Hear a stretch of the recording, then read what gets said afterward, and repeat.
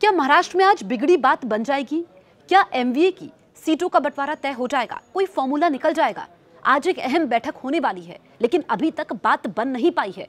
और ऐसे में आज की मीटिंग काफ़ी अहम हो जाती है। लेकिन प्रकाश अंबेडकर, जो कि वंचित बहुजन अघाड़ी के अध्यक्ष हैं, उनका एक बयान सामने आता है, जिसके बाद लग रहा है कि बात बन नहीं पाएगी, सीटों पर सहमति बन नहीं पाएगी। आप ये समझिए कि लोकसभा चुनाव नज़दीक है। 10 मार्च के बाद कभी भी तारीखों का ऐलान हो सकता है और महाविकास अघाड़ी में अभी तक कोई फॉर्मूला तय नहीं हुआ है। डील नहीं हो पाई है फाइनल। बात नहीं बन पाई है। अब जितने भी दल हैं, एम की अगर हम बात करें तो इसमें कांग्रेस है, इसके अलावा शरद पवार की एनसीपी है और उद्धव गुट की शिवसेना है। ये कितनी सीटें मांग रहे हैं, ये भी मैं आपको इस वीडियो के ज़रिए बताऊँगी, पूरी इनसाइड स्टोरी बताऊँगी कि देरी क्यों हो रही है और कैसे ये सभी पार्टियाँ मिलकर के भी बीजेपी को चुनौती नहीं दे पाएँगी क्या महाराष्ट्र में बीजेपी की राह आसान रहने वाली है। महाविकास अघाड़ी जो एक बड़ी चुनौती के तौर पर खुद को पेश कर रहा था गठबंधन, वो अब टूटता हुआ जा रहा है, बिखराव तो देखने को मिल रहा है, लेकिन इतनी मीटिंग्स के बाद भी बात नहीं बन पाई है। और कहा यह जा रहा है कि जो आज बैठक होने वाली है, वो आखिरी होने वाली है। अब इसमें आपको बताएँ कि वंचित बहुजन अघाड़ी ने 48 में से 27 सीटों की डिमांड की है। अब 48 में से 27 सीटें तो प्रकाश अंबेडकर की पार्टी मांग रही है।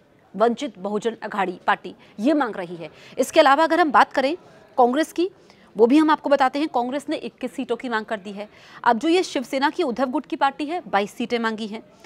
एनसीपी ये 10 सीटें मांग रही है शरद पवार की पार्टी। 48 सीटें हैं तो कैसे? मतलब एक दो सीटों पर ऐसा नहीं है कि सहमति नहीं बन पाई है। ये तो 12 से 15 सीटें हैं जिस पर अभी तक डील फाइनल नहीं हुई है। तो कब ये होगा? इसी को बीजेपी मुद्दा बना रही है कि इनकी अपनी अपनी महत्वाकांक्षा है। ये ये जो पार्टियाँ हैं, ये दिखाने की कोशिश करती हैं कि इनका जनाधार है। ये सरकार में रहे हैं, इन्होंने महाराष्ट्र में सरकार चलाई है कुछ समय तक।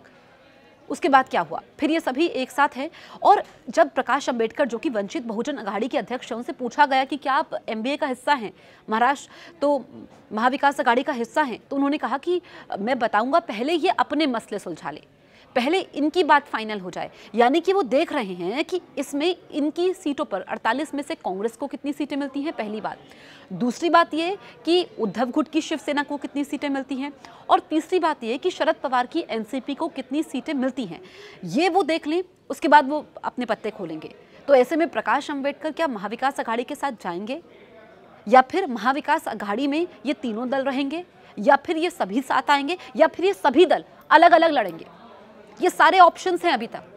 और यही वजह है कि बीजेपी इसको मुद्दा बना रही है और ऐसे में जो पीएम मोदी ने 400 प्लस का नारा दिया है, उसमें हर राज्य, हर सीट बहुत अहम है और हम देख रहे हैं कि बूथ लेवल पर बीजेपी तैयारी कर रही है। और जब ऐसे बिखराव देखने को मिलता है, मीटिंग्स पर मीटिंग्स होती है, महत्वाकांक्षाएँ सामने आती है, गठबंधन धर्म का पालन नहीं होता है और इतनी ज़्यादा सीटों की डिमांड की जाती है, मैंने आपको बताया कि इसमें कितनी सीटें, कांग्रेस की तरफ़ से इक्कीस सीटें मांगी गई हैं, अड़तालीस लोकसभा सीटें और इक्कीस सीटें कांग्रेस की तरफ़ से मांगी गई है। इसमें मैं आपको सीटें बताती हूँ कौन कौन कौन सी है? शिवसेना ने जो सीटें मांगी हैं, रायगढ़ हैं कल्याण डोंबिवली है, मावल है, हिंगोली है, छत्रपति संभाजी नगर है।